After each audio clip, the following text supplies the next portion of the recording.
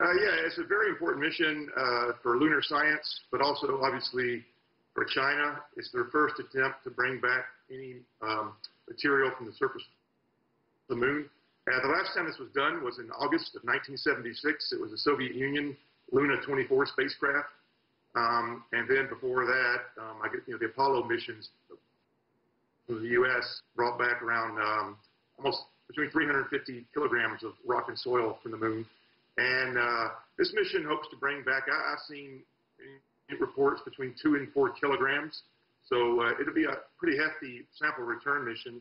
And, um, you know, we hope to get, it's going to get started here in about an hour and a half.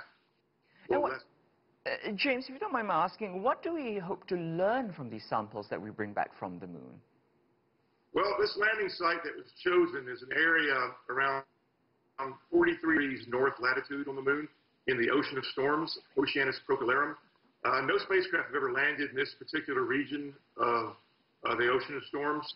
The Apollo 12 mission or mission um, with the Apollo 12 astronauts landed in uh, uh, November of 1969, but it was way south of there. This area is called Mons Rumker. It's a, uh, um, a topographically high area.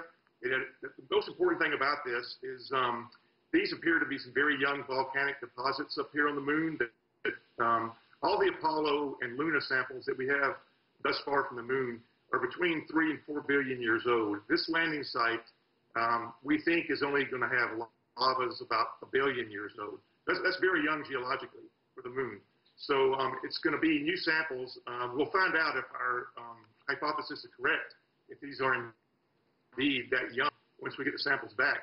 But um, it's basically the youngest, some, some, of the youngest volcanism on the moon that uh, is hoped to be sampled from this mission. Right. I want to get a little bit into the technology because Chang'e uh, 5 involves innovations not seen before, including um, a, a four-component model that's completely automated. Uh, talk to us about what China is trying to accomplish here.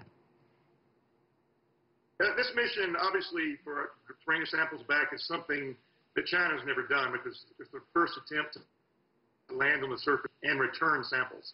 Now, China has landed two previous spacecraft on the moon. One of them is still functioning on the lunar far side. It's almost two years ago that it landed in January. But um, to land and then to take off is brand new, and to return to Earth and bring the samples back. So this, these are new aspects of the project. And um, personally, for me, I, I think this technology is, going to, is a proving ground for China's hopes to send astronauts to the moon and back, because obviously you have to land on the moon, then you have to lift off from the moon, and run dock with spacecraft in lunar orbit, and then come home to Earth. So I, I think some of the technology um, is going to feed forward into that project. Um, I know that China has not put a time exactly when they plan to land their uh, astronauts on the moon. The numbers I keep hearing around 2030, but I think it's possibly to be earlier than that. This mission is important also for the engineering aspects of it, um, just to prove that you can land, take off, rendezvous and dock in lunar orbit, then come home. Um, th those are important steps for uh, not only sample return, but for future missions sending astronauts there. Right. And could this um, automated model also form a blueprint for a Mars sample return? Uh, in some ways, because for, for Mars sample return, you're right. You have to do some of the similar techniques now, landing on the moon is a lot easier than landing on Mars. Um, we're going to find out in February, um, you know, how, how, how the, uh, the Chinese and American spacecraft do um, planning to land on Mars. The U.S.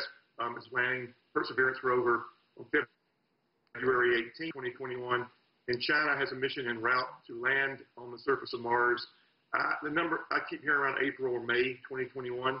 Um, so Yes, it'd be some of the technology obviously could feed forward for a Mars sample return, um, but you're going to it's a little more difficult because Mars has a higher gravitational attraction, therefore a higher gravity field you got to get out of. You have to have a more energetic rocket to take off from the surface to rendezvous and dock, and then come bring the samples from Mars back to Earth. But yes, some of the uh, technology can be, um, you know, uh, I guess spruced up, so to speak, to get ready for Mars.